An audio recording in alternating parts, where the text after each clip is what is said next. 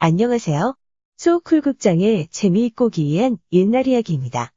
오늘 이야기는 조선 후기 작자 미상의 야담집인 청야담수의 효자 오준이라는 제목으로 실려 있습니다. 효자 오준이 무덤 옆에서 심유살이 할 때 하늘이 감동하여 맑고 시원한 샘물을 솟아나게 했고 한낱 짐승에 불과한 호랑이도 제사에 필요한 물건을 물어다 줍니다. 그뿐만 아니라 죽어 저승으로 갔을 때도 염라대왕이 생전의 효성을 갸륵하게 여겨 오준을 다시 이승으로 돌려보내서 40년을 더 살고 오도록 했다는 이야기입니다. 구독과 좋아요 부탁드립니다. 고맙습니다. 그러면 시작하겠습니다. 오주는 전라도 고창 흥덕현, 현재 지명으로는 전라북도 고창군 신림면 외화리에 살았던 선비이다. 어린 시절부터 효성이 지극하였는데 28살 때 어머니가 위독하자 손가락을 베어 그 피를 마시게 하여 3, 4일을 더 연명케 하였다. 그 후 등에 난 종기로 부친의 목숨이 위급한 지경에 이르자 입으로 며칠 동안 종기의 피고름을 빨아서 부친의 병이 나았다. 그러나 얼마 후 합병 증세로 아버지의 목숨이 위태로워지자 이번에는 대변을 맛보아 증세를 예단하고는 자신의 허벅지살을 도려내어 먹이는 등 정성을 다했으나 어머니가 죽고 난 이후 꼭 두 달 만에 아버지까지 돌아가셨다. 이에 오주는 영취산에 부모님을 장사 지내고 묘소 옆에 염막을 짓고 심효살이를 하였는데 아침 저녁으로 극진한 슬픔을 못 이겨 온몸을 떨면서 곡을 하니 듣는 사람들이 모두 눈물을 떨구었다. 하루에 죽 한 그릇으로 연명하며 소금과 간장을 입에 대지 않는지라 마침내 온몸의 털이 하얗게 변하였다. 매일 아침 부모님 묘소에 현주를 진설하였는데 오리쯤 떨어진 산골짜기 물이 매우 맑고 시원하였다. 그는 반드시 단지를 들고 몸속아서 물을 길어왔는데 비바람이 칠 때나 춥거나 더울 때도 조금도 게을리하지 않으니 손발이 붓거나 터지기 일쑤였다. 어느 날 저녁 난데없이 천둥치는 소리가 나면서 번개까지 치니 수풀과 산기슬기 모두 놀라 요동을 쳤다. 아침에 일어나 보니 여망 옆에서 샘물이 솟구쳐 나오는데 달고 시원한 맛이 예사롭지 않았다. 전에 물을 길어오던 산골짜기의 샘에 가서 보니 이미 말라버린 뒤였다. 드디어 여망 옆에 샘물을 길어다 쓰니 멀리서 물을 길어오는 수고를 면할 수 있게 되었다. 마을 사람들이 오준의 효성에 하늘이 감동하여 내려준 샘물이라고 하여 이름을 효감천이라 지었다. 여막이 깊은 산 속에 있어서 이리와 호랑이가 거침없이 다니므로 집안 사람들이 몹시 걱정하였다. 소상을 지내고 난 며칠 뒤 갑자기 큰 호랑이가 나타나 여막 밖에 웅크리고 앉아있는 것이 보였다. 오준이 놀라 물었다. 나를 해치려고 왔느냐? 맹수인 너를 내가 어떻게 이기겠느냐? 너가 하고 싶은 대로 해라. 오준의 말이 끝나자마자 호랑이는 즉시 머리를 낮추고 꼬리를 흔들면서 엎드렸는데 그 모습이 마치 경의를 표하는 것 같았다. 오준이 다시 말했다. 기왕에 나를 해치려는 것이 아니라면 어째서 가지 않느냐? 그러자 호랑이는 집에서 키우는 개가 그러는 것처럼 문 밖으로 나가 입구에 엎드렸다. 보초가 되어 오주를 지키려고 그러는 것 같기도 했다. 이렇게 하는 것이 일상사가 되자 마침내 오주는 개에게 하는 것처럼 호랑이 등을 쓰다듬어주며 같이 놀기에 이르렀다. 매달 초하루와 보름이 되면 호랑이는 반드시 노루나 사슴 혹은 산돼지를 잡아 여막 앞에 가져다 놓아 오준은 그것을 제수로 쓰곤 하였다. 마침내 오준이 3년상을 마치고 집으로 돌아가자 그제야 호랑이도 사라졌다. 세월이 1년쯤 흘렀을까 어느 날 밤에 오준이 잠을 자는데 꿈에 호랑이가 나타났다. 호랑이는 대감마을에서 지금의 지명으로는 전남 장성군 북일면이다. 함정에 빠져 죽게 되었으니 살려달라고 울부짖었다. 오준은 급하게 자리를 박차고 일어나서는 횃불을 만들어 들고 30리나 되는 험한 고갯길을 넘어 달려갔다. 아니나 다를까 호랑이가 꿈속에서 말한 대로 사람들이 창칼로 함정에 빠진 호랑이를 죽이려고 하였다. 그 모습을 본 오주는 다급하게 소리쳤다. 그 호랑이는 내 호랑이다. 해치지 말라. 그 말을 듣고 사람들이 다그쳤다. 당신이 임자면 저 함정에 들어가 봐. 그러면 우리가 믿을게. 오주는 한치의 망설임도 없이 호랑이가 잡혀 있는 함정으로 들어갔고 호랑이는 주인을 만난 개처럼 꼬리를 치며 반가워했다.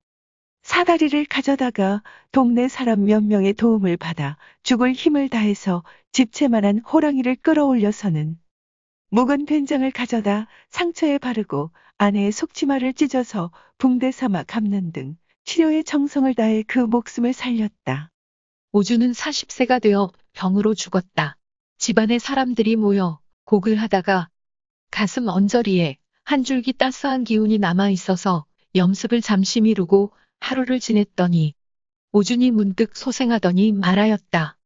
저승이 있다고 하는 말이 과연 헛소리가 아니더군.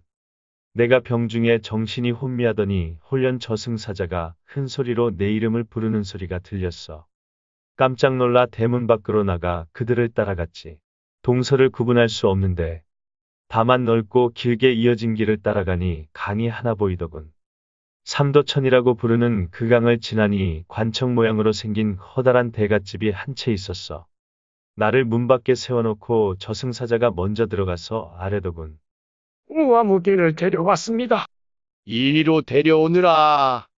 내가 엎드려서 흘깃 마루 위를 바라보니 왕의 복색을 한 사람이 사자에게 묻더군. 어디서 데려왔느냐? 조선국 전라도 흥덕현에서 잡았습니다. 그러자 마루 위에 있는 사람이 성난 소리로 말하더군.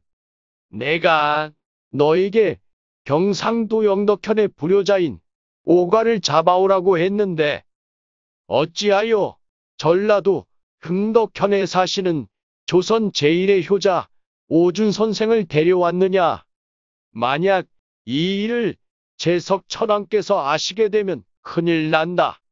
이 선생의 수명은 재석 천왕의 특명으로 이미 80으로 정해져 있으니 아직 40년이나 더 남았다. 즉시 이승으로 돌아가서 전술을 다 누리시게 하는 것이 옳으리라. 저승사자가 그 말을 듣고 두려워 움츠리며 나를 밀어 대궐 밖으로 나가게 하더군.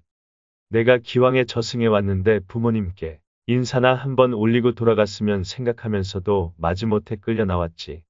길에서 아이 둘을 봤는데 길가에서 놀고 있다가 나를 보고는 아는 체하며 옷깃을 잡고 따라오려고 하므로 자세히 살펴보니 지난달에 물에 빠져 죽은 이웃마을 김진사댁 아들 형제였다네. 매우 놀랍고 마음이 아파 다시 대궐로 들어가 마루 위에 있는 사람에게 빌었지. 이승의 사람이 저승에 들어왔다가 돌아간다는 것은 쉽게 얻을 기회가 아닙니다. 기왕에 들어왔다가 부모님을 뵙지 못하고 돌아간다면 이 어찌 자식된 인정과 도리이겠습니까? 마루 위에 있는 사람이 머리를 가로저으며 말하더군. 아무리 천하제 일의 효자라고 해도 저승의 법으로는 안 되는 일입니다. 내가 눈물을 흘리며 간절하게 빌었으나 허락하지 않더군.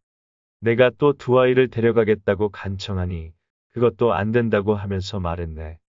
선생의 운명에는 앞으로 자식이 없습니다. 따라서 허락해 줄 수가 없습니다. 그러나 정말로 데려가고 싶다면 당신이 조선 제1의 효자이니 내가 특별히 정을 받아들이지요. 두 아이 중에 한 아이를 전라도 광주의 아무 마을에 있는 김가집에 태어나게 해주겠소이다. 그러니 후일 이승에서 그 아이를 데려가면 될 것이요. 내가 어쩔 수 없이 문 밖으로 나오니 두 아이가 울부짖으며 따라오려고 하다가 저승사자들의 쫓겨나니 마음이 몹시 아팠다네. 혹시나 하는 마음으로 다시 한번 사자에게 간청했네. 비록 부모님을 만나 뵙고 인사는 올리지 못하더라도 계신 곳을 알려주실 수는 있겠지요.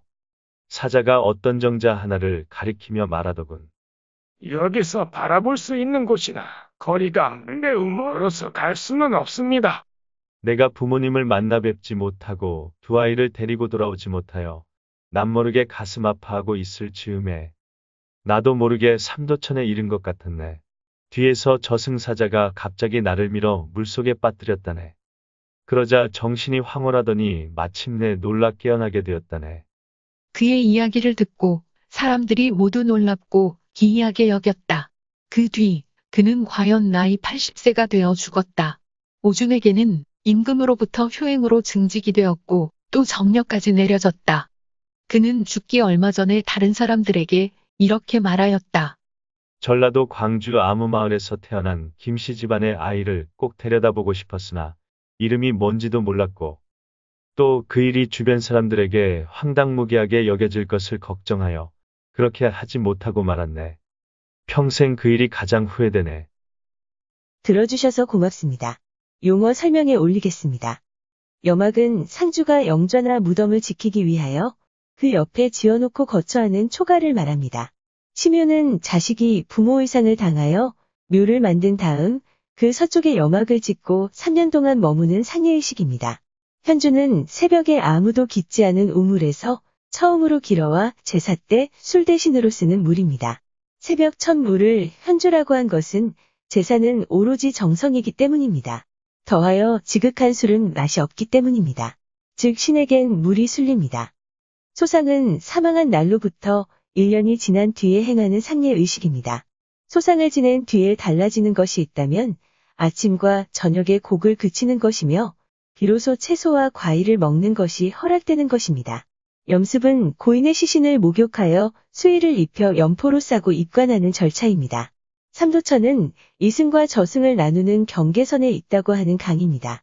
제석천왕은 수미산 꼭대기에 있는 도리천의 임금입니다. 정년은 충신 효자 연려 등을 그 동네에 정문을 세워 표창하는 것입니다. 참고 문헌 및 출처 설명에 올리겠습니다. 신증 동구겨지 승남과 김동욱 교수가 번역한 저자미상의 이야기책 청야담수의 내용을 빌렸습니다. 그리고 한국민족 문화대백과사전, 한국민속 대백과사전, 한국콘텐츠진흥원, 문화콘텐츠닷컴의 기사와 사진을 빌렸습니다. 또 한국인의 통과의례, 관원상제의 심유사리를 하는 이유의 기사와 사진도 빌렸습니다. 또 한국학중앙연구원의 향토문화 전자대전 중 디지털 고창문화대전에 탑재된 오준의 기사와 전북 고창문화원 고창의 지정문화재에서 효를 상징하는 샘물, 효감천의 기사와 사진도 빌렸습니다. 박선영 기자의 트래블투데이 기사, 지극한 효심에 감동한 하늘이 내린 선물 효감천, 그리고 극락주의 여행, 일상의 기사, 고창 효감천과 창유사, 마의 주인공 백광현 추적자의 기사, 종기로 죽은 왕, 문종, 그리고 94에 내낸 드라마녀의 기사, 제석천 인드라 사천왕, 범천왕의 기사와 사진을 빌렸습니다. 또 조선시대 화가, 김홍도, 신윤복, 김준곤 그리고 김득신의 그림 몇 점도 빌렸습니다. 또 위키백과와 나무위키의 기사와 사진, 그리고 2018년 김용화 감독의 영화 신과 함께 인과 연애 한 장면도 캡처했습니다. 또 크라우드픽, 핀터레스트 그리고 픽스타의 사진도 빌렸습니다. 소쿨극장입니다. 다음 주 화요일 10시에 뵙겠습니다. 고맙습니다. 안녕히 계십시오.